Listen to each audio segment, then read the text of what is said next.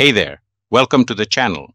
Today we're diving into an exciting topic, how to extend Phidata with knowledge. But before we get started, let's do a quick recap. What is Phidata? It's an agentic framework designed for building AI agents. If you're not familiar with it yet or need a refresher, check out my previous videos. Links are in the description. Now, let's explore how Phidata uses its powerful knowledge component, Phidata knowledge, to enhance AI agents. By integrating domain specific context, it enables AI assistants to better understand user queries and deliver precise, relevant responses. The secret behind this lies in the knowledge base, which works best with vector databases. These databases excel at quickly retrieving relevant information from complex data by using embeddings. Here's the process in a nutshell. First, the knowledge is divided into smaller, more manageable chunks to ensure accurate search results. These chunks are then transformed into embedding vectors and stored in a vector database. When a user submits a query, it is also converted into an embedding, and the system searches for the closest matches or nearest neighbors in the database. This allows the AI agent to retrieve the most relevant information quickly and efficiently. Phidata comes equipped with pre-built knowledge bases designed for various data sources, including PDF, CSV, JSON, and many more formats. To utilize a knowledge base effectively, it must first be loaded with embeddings, which are essential for data retrieval. You can streamline the entire process of chunking, loading, searching, and optimization by using one of these ready-to-use knowledge bases. We'll be using PG Vector, an extension for PostgreSQL that enables you to store and query vector embeddings directly within your database. This powerful tool essentially transforms your PostgreSQL database into a vector database, allowing you to perform efficient similarity searches alongside your traditional data queries. That said, you're not limited to PG Vector. You can also leverage other vector databases like Pinecone, ChromaDB, or SingleStore for your needs. To set up a PostgreSQL database with the PG Vector extension, you have two options, installing it locally or using a hosted service for convenience. For local installation, refer to the link provided in the video description. In this demo, we'll simplify the process by utilizing Timescale as our hosted service.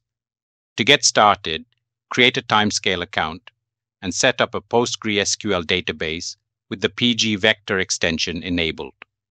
After setting up your PostgreSQL database with the PG Vector extension in Timescale, make sure to retrieve the connection string. This connection string is essential for connecting your application to the database and using it effectively in your project. Let's get started. Launch Visual Studio, open the terminal, and set up a Python virtual environment. Once the virtual environment is activated, install the Phidata and OpenAI libraries. Next, ensure that you obtain your OpenAI API key and set it up in your environment variables. In this tutorial, we will begin by creating knowledge bases in various formats, such as CSV, PDF, and JSON. Each of these formats will serve as a separate source of information. After creating the individual knowledge bases, we will combine them into a unified format, allowing us to work with a consolidated knowledge base. Finally, we will implement a retrieve and generate RAG agent, which will be capable of retrieving information from the combined knowledge base and generating contextually relevant responses based on that information. Let's dive in. To begin building the CSVK knowledge base, we need to install a few Python packages that will help us interact with the database and manage vector embeddings. These packages include SQLAlchemy, which is a SQL toolkit, and Object Relational Mapping, ORM, library for Python, enabling us to interact with the database using Python objects. Next, we'll install pgvector, a PostgreSQL extension designed for storing and querying vector embeddings, which is essential for handling the embeddings generated from the CSV data. Lastly, we'll install psycopg2, a PostgreSQL adapter for Python that allows us to connect to and interact with the PostgreSQL database. Once these packages are installed, we'll be ready to implement the functionality for reading CSV files, converting the data into vector embeddings, and storing them in the PostgreSQL vector database. Let's run and see how this code performs in action. This code demonstrates how to set up a knowledge base and interact with it using an agent. It initializes a CSV knowledge base by connecting it to a PostgreSQL database with vector search capabilities using the CSV knowledge base class and PG vector. The agent is then created, linked to the knowledge base, and configured to search it. After loading the knowledge from the CSV, the agent is used to query the data. In this case, asking about the yearly count of businesses in the agriculture industry. The agent processes the question and returns a response based on the knowledge base. Let's validate the CSV data in PostgreSQL to ensure that it has been properly loaded, vectorized, and indexed, which is essential for the agent to provide accurate responses. As you can see, the data is properly stored in PostgreSQL, and the agent can successfully load the data after insertion ensuring that the knowledge base is ready for querying. This code sets up a system where an agent can query a knowledge base stored in a JSON file with the data vectorized and stored in a PostgreSQL database using the PG vector extension. The JSON knowledge base class is used to load the JSON data, while PG vector connects to a PostgreSQL database for storing vector embeddings of the knowledge. The agent class is then initialized with the knowledge base, allowing the agent to search and respond to queries. When the agent.printed_response, what is GAN, is called, the agent searches the knowledge base and returns a relevant answer about generative adversarial networks, GANs. Let's confirm that the JSON data in PostgreSQL is correctly loaded, vectorized, and indexed, which is crucial for the agent to return accurate responses. As you can see, it looks good, confirming that the JSON data is properly loaded. Next, we will create a PDF URL knowledge base. To start, we will first install the PyPDF2 package, which is commonly used for working with PDF files in Python. This code sets up an agent that queries information from a PDF document stored in a PostgreSQL database. It uses the PDF URL knowledge base class to fetch a PDF from a URL argc website and store its content in the database using pgvector. The agent class is configured to search the knowledge base for answers. After loading the knowledge base, the agent can respond to queries, such as, What is SAM? by extracting relevant information from the stored PDF. As you can see, the agent retrieves information about SAM from the provided URL. Now, we will run the combined knowledge base. This Python code is setting up a system where an agent can query a combined knowledge base to retrieve information. The combined knowledge base is created by merging two different knowledge sources, knowledge base PDF and knowledge base JSON. It utilizes pgvector as a vector database to store the combined documents in a PostgreSQL database, specifically in the table combined documents. The database connection details are provided via the DB URL. The agent class is then initialized with this combined knowledge base as its knowledge source, and it is configured to search through this knowledge base when querying the agent loads the knowledge base without recreating it, meaning it reuses the existing data. Finally, the print response method of the agent is called with the query, What is SAM? to output the response based on the combined knowledge. We can also run a second prompt, such as What is GAN? to get another response. We have now learned how to utilize the Phidata knowledge base for various data sources. The next step is to implement retrieval augmented generation, RAG, which involves stuffing the prompt with relevant information to enhance the model's responses. This process is carried out in two steps.